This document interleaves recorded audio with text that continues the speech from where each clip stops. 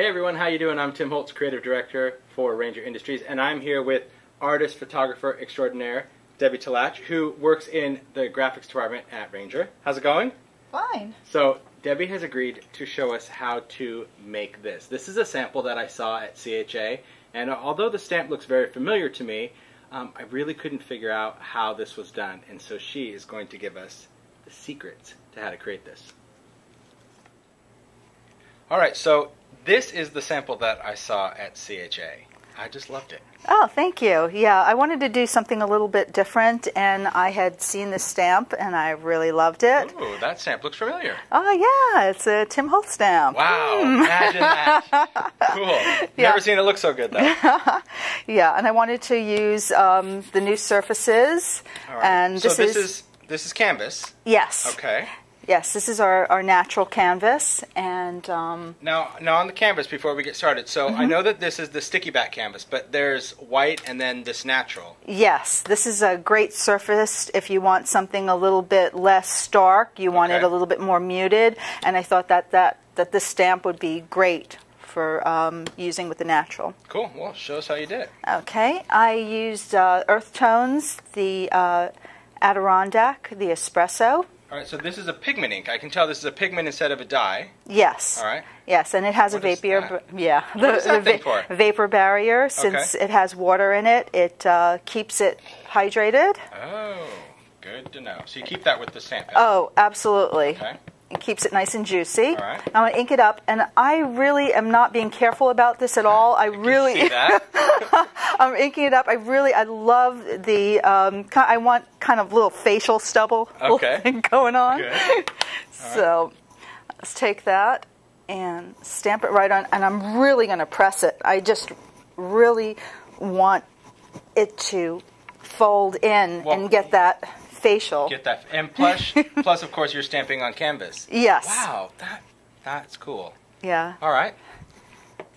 And Perfect. I use the cut and dry nibs. Okay, now these I got I got to show like so these these packs. I mean, we've had these at Ranger forever. They've been a lot of different uses. So what is a nib though? I mean, Um, a nib just it it's plain, and what it will do is suck up the ink.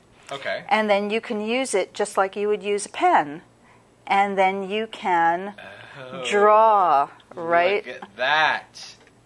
so it's kind of like using a marker I was gonna say it looks like you're using makeup, like an Oh, eyeliner no. or something. yeah i guess it is similar to that So the nib, I mean, it, it's flexible. I see that, but Mm-hmm. I never thought of using, of course, pigment ink for that. oh yeah pigment ink is great i love pigment Wow, ink Look at that just come to life. I mean, that's the thing that I think I was most impressed about. I mean, I saw the image, of course, and when I looked at it, I mean, again, I'll just throw it right back into the camera. When I looked at that and I saw it, I just thought, you know, how is that not just printed? That that can't possibly be the stamp. But now I see that you're filling in all those shadows. yes i'm just going along the lines and just filling in shadows and it's really easy just follow what's there already I was going to say, I mean, just you're give an it a artist, little so you kind of get that. But you're just following. I'm just following what's already there, really. And I really wanted him to um, pop a little bit more. So what I did was I took the stream okay. and Pigment again. Got Pigment it. again. All right. and I wanted him to have these really cool blue eyes. And I just filled it in a little bit. What a great, great technique. Awesome. So you just keep going back in, And filling doing your shadowing, doing your shadowing. All right, so we're going to let you do some more shadowing and then we'll come back because I'm sure there's got to be another step. Yes. All right, cool. All right, so you're just going in, you're just kind of finishing up all your shading. That's just amazing how you kind of fill that in with that pigment ink and that nib. Ah, thank you. Yeah, there's something about this canvas I really love. It takes the pigment inks really well. Just the natural, just the fact that it's it's got kind of that fuzzy. Yeah, it's untreated and it just really it, it works well with the pigment. Right, Great. cool. So I'm pretty much finished with this for now. Okay. And the next thing I do is just take a little bit water. I'm going to use my mini mister. All right. And I'm just going to give it a couple little spritz. Oh, right onto that. Right on top of it. Yep. Because the pigment's water based. yes. So so it'll start to bleed out a little bit. Okay, And and give it a cool. really cool look. All right. And then I can work back a little bit more, a little Oh, couple of little I see how it darkness. kind of yeah, it smudges out some smudges out. damp. And then what I can do also is come back with a wet brush and just give it a little bit of shadow here and there. Oh, Pull out the pigment a little bit more. true artist. Look at that. Now I notice. I mean, obviously you're holding down the canvas because it curls, but you don't have to worry about that, right? I mean, when it dries When out. it dries, it'll, it'll it'll, flatten back yeah out. flatten back. Plus, you know, you've you've got the sticky back, so you're going to peel it and put it on whatever oh, you true. want to on the Yep, back. Yeah, exactly.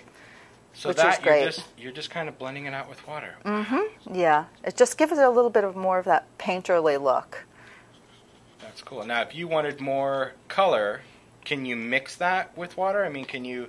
Absolutely, you could actually probably go right on right from the pad and take a little bit more and darken the shadows there wherever you wanted to.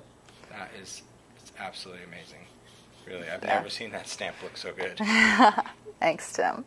Very cool. So once this is done, you're just going to let it dry, mm-hmm. dry with a heat tool, and then you end up with that. That, yes, yeah. That. is cool. So of course, the sticky back canvas, you could start with a big piece like that. That one, that's one of our ATCs. right? Yes, actually, I used it with the ATC size. Yes, it was great.